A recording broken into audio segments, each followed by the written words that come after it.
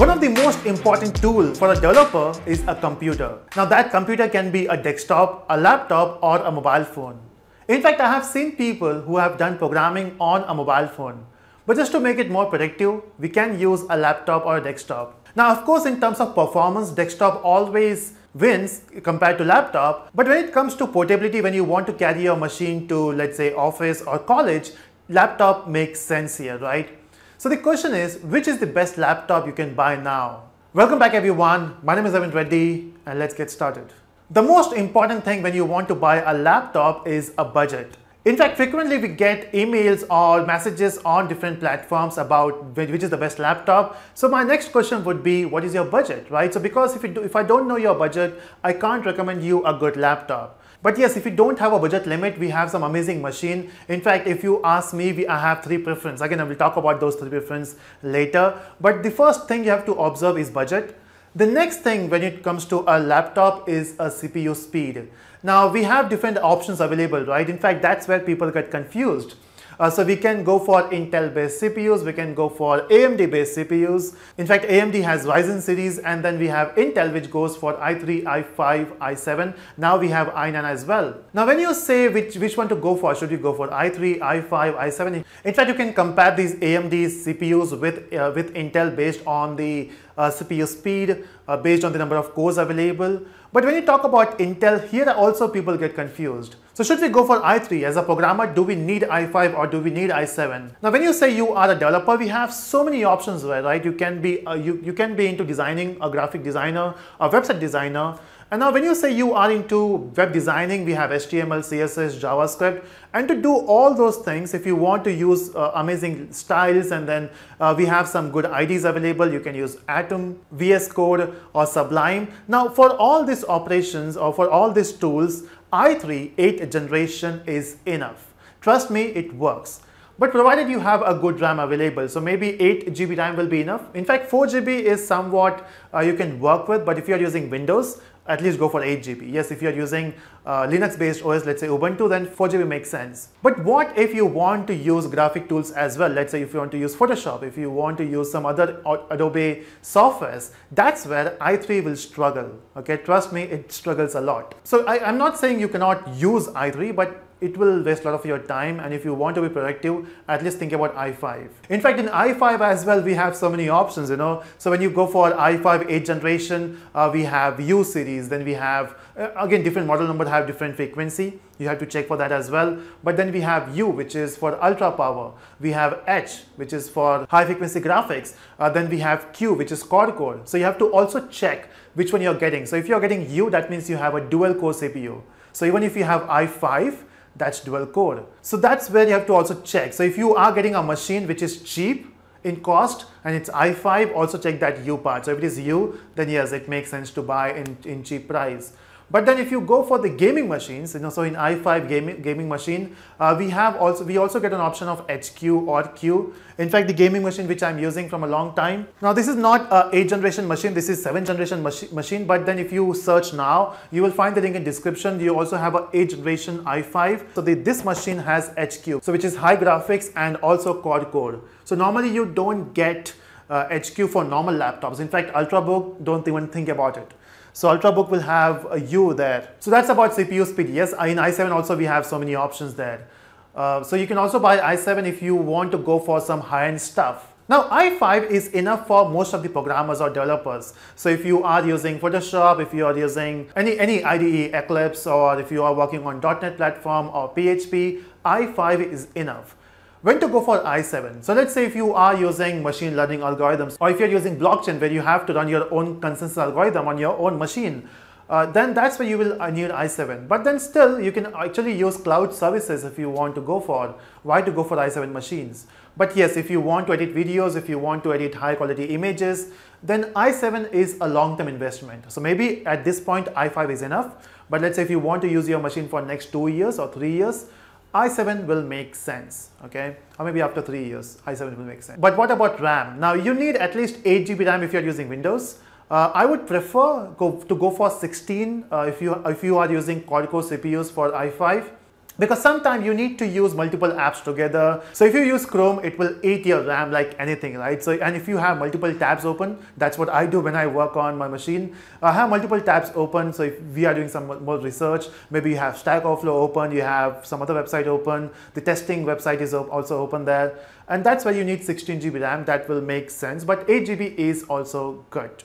The next thing which is more important, now if you, even if you have a high speed CPU, even if you have a high speed RAM or huge storage for RAM, if you are still using mechanical hard drive, your still, your machine is still not fast because, so there's a bottleneck there, right? So even if you have high speed CPU, huge storage for RAM, everything will slow down at your hard, hard drive level. So if you, when you load Windows, when you open apps, it will slow down and that's where you have to go for SSDs.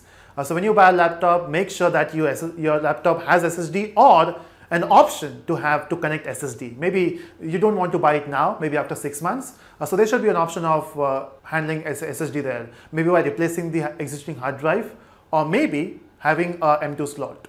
Normally when you go for low-end machines, they have HD screen and then when you buy a high-end machine, of course, an expensive one, you will get full HD or you will get 2K screen. Now 2K or 4K is not actually needed now in uh, as a programmer, but if, if you want into uh, graphic designing those stuff, it will make sense. In fact, you can also connect external monitors, right? If you want to, if you really want to go for 2K or 4K. But if you want to go for a laptop, full HD is something you need. Because if you are working on your machine for a longer time, or let's say two, two to three hours, then working on HD screen will be, will be painful. Okay, now with that, let's go for the listing of laptops you can go for.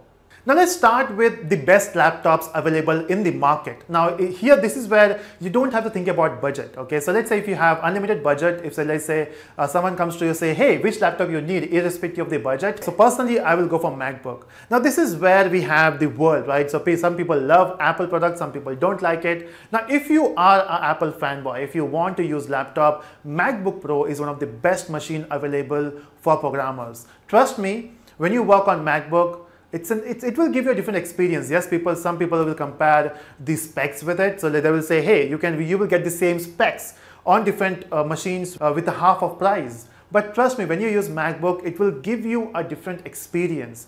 So the type of screen it has, the type of keyboard, you know, it feels magic when you type on that keyboard. Uh, we have touch bar option. Yes, it is useful as a video editor. It is useful for us. I'm not sure for programmer how useful it will be, but uh, overall, when you work on MacBook, it gives you that feel of speed because it's also a Mac OS, right? And Mac OS is much better than Windows. So that's one reason you should go for MacBook. There is one problem with MacBook. So from last two years when MacBook came up with this, or Apple came up with this new style of keyboard, uh, and then they have a lot of problems with this. You can see my key came out from the keyboard and that's okay. For normal machines, when key comes out, you can connect it, right? You can just go to service center, they will charge you some amount and they will change it. But for MacBook, it will cost high. So for changing this key, you have to change the entire back panel, which will cost you around 40 to 50,000 rupees. And you can buy a new machine in that. Apart from that, the machine is best if you ignore that particular issue of keyboard. But yes, now uh, Apple is running the four-year keyboard replacement uh, scheme. Uh, so even if your keyboard is not working properly, you can change it, right? Okay, now that's about MacBook. Now what if you are not an Apple fanboy? What is a different option you have? The next option, in fact, my personal favorite, I want to buy that machine from a long time, which is Dell XPS. Now XPS series is quite famous in the programming world. So most of my friends, they are working on XPS, not in India, but in US, and they are very happy with it. So they will either go for MacBook or XPS. They only have these two options there. Uh, so most of them are using XPS and it's awesome machine, okay? It's beautiful. So design weight is beautiful. The keyboard is awesome. And then when you work on it, you will not get tired working on those, that machine with only one drawback. Now, in fact, in XPS as well, we have i5, you have i7, you can just check them out. Uh, based on your requirement, you can go for one. So I'm talking about Dell XPS 9570 series. Uh, it's an awesome series. You can you can just check them out. You will find the link in description area. Based on i5 or i7, that's depend upon you. But there's only one problem with that machine, and that is the webcam. Okay, I'm not saying webcam is bad. The only problem is it has a very thin bezels, right? So this screen is awesome with thin bezels. Now since we don't have much space available on top, so example this is that Dell XPS, this is not, this is actually Asus machine. Uh, so they have a webcam. Now since this is very thin, so they don't have a webcam here. They have webcam below the screen. Now it, it's okay, right? You can use it. Uh, not actually. Now if you are using Skype for this, that makes sense because you can just lift your laptop up and you can use it. What if you want to do a video call plus you also want to type something on screen? And that's where your fingers will come in between. In fact, I was taking an online session and one of the participants was having Dell XPS and then that's, that's where problem started when the moment he was sharing his face on the online conference and then we were able to see his fingers, you know, huge fingers there. Uh, so that's, that's the problem with Dell XPS. apart from that, it's an awesome machine. But what if you don't want to go for MacBook or Dell XPS? The third best option available is ASUS ZenBook. Now ZenBook is an awesome series because see, when you buy a laptop, if you don't have a budget limit, you have to also go for the performance you have to also think about this screen because of course you have to look at it for a long time plus it should be lightweight because if you're not a gamer if you want if you just want to focus on development and productivity and if you are let's say if you are traveling you want your laptop to be portable and you can open it anywhere. It should not be that bulky that it, you don't want to carry it anywhere. I never carry that asus machine there which is a gaming machine okay? It's damn bulky. Uh, so that's why you have to think about lightweight machines as well. But now what if you have a budget limit? So everyone have a different limits, right? So let's go for 70K and up. So if you have a range of 70K and up, you can go for my personal favorite in that range and that is this Asus VivoBook. Now this is a great machine, I just bought it recently. The reason I went for this machine is lightweight, you can carry it anywhere you want. This is 14 inch machine but it doesn't look like 14 inch dimension, you know. It take maybe it's a size of uh, 13 inch but uh, this screen is 14 inch and this is an amazing machine. Uh, lightweight. So let's say if you uh, if you want to open it, it will create this some lift from this side. This is what is say ergo lift, which will lift your keyboard by two to three degrees, and it will be useful for typing. It has thin bezels. You can see it's very thin bezels here. Uh, so machine is awesome and this is Asus VivoBook. This is S14, this is 14 inch machine. They also have S15 which is 15 inch. Uh, now you can go for i5 or i7. I went for i7 because I also want to edit my videos. But as a programmer, you can you can also go for i5. That is more than enough. And if you want to see more specs, you can just find a link in description area. But what if you only love two companies, HP and Dell? And so that's where we have Dell uh, machine as well in this range. So which is Dell Inspiron 5570. Now even you can go for this machine. They also have different i5, i7 series. Uh, you can check them out. It's an awesome machine with a good performance. So if you want to go for performance, you can go for Dell. If you want both performance and beauty, you can go for Asus. But what if you don't want to work on dual core i5, you want to work for quad core i5 and that's where we have Asus ROG series. So we have shown that before, right? So we have Asus ROG series, amazing machines. The only drawback with those machines is they are bulky. Now if you want to carry your machine, I will not do that. But if you want to use it for developer purpose on one desk or maybe occasionally you want to carry it, it's an awesome machine. It has a quad-core CPU, okay? So any high-end work will also work smoothly. Now, there is one particular machine which everyone loves, but they're still thinking should we go for it, and that is MacBook. Oh, but not in this range. I'm talking about MacBook Air. Now MacBook Air is famous from long time, you know, so we have 2015 model, 2017 model. Now we also have a new MacBook Air which is bit costly. What if you want to go for the older one which will cost around 72,000 rupees, which is MacBook Air 2017 model. So can you still go for it? The answer is yes. So it is still i5, not the latest generation, but it will still work, right? So if you are a MacBook fan, if you're an Apple fan, and if you want to use MacBook from a long time, if your budget is low, MacBook Air is awesome. The only problem is if you are using some high-end apps together. That's where it might give you some lag. But then I've seen a lot of people, in fact, some of my students, they are still using MacBook Air and they are happy with it. So yes, it's a big investment on MacBook, which is an old one. But if you are a MacBook fan, it's a great machine to work with. Now it's time for low-end machines. In fact, when I bought my first i3 machine way back in 2011 or 12 or 11, I guess, it was an awesome machine, okay? So the cost was 34,000.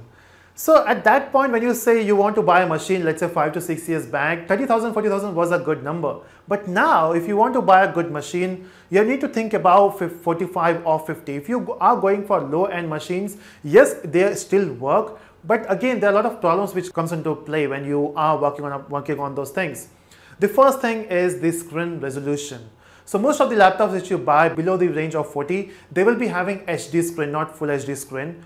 I, I guess only Acer Aspire 5 So that has a full HD screen. Apart from that, most of the machine which I've checked is has HD screen. The next problem they have is the hard drive. They only have an option of HDD. Most of the machine don't have the option of SSD. So you have to manually remove the hard drive and connect it with SSD. But maybe it, that option will not be direct that you simply can remove hard drive from there. If you still want to go for that, I would suggest to go for Acer Aspire 5, which is a full HD screen. Uh, you can also go for Asus gaming machine, which is an entry-level gaming machine, good for programmer as well, which is TUF series. Uh, so these two machines make sense to buy it below or around 40. But if you want to go for below 30 or somewhere there, uh, there's one more machine you can use which is Lenovo 330S which we have in the office. It's not a great machine but it works. You know all the normal tasks can be done. In fact programming can also be done there.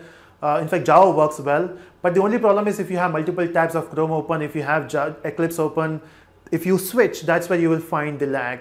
Ubuntu works fine. There's an issue with Windows there and that's a AMD machine, AMD A9. The another option you have is Acer Aspire 3, again that's a Ryzen 5 series. Uh, so these two machines are great below 30 or somewhere around 30. So those are the machines you can go for. So now I hope you got the idea when you want to buy a new laptop, you can just see all the parameters here and you can buy the machine. So I hope you like the video, let me know in the comment section and subscribe for, for the video.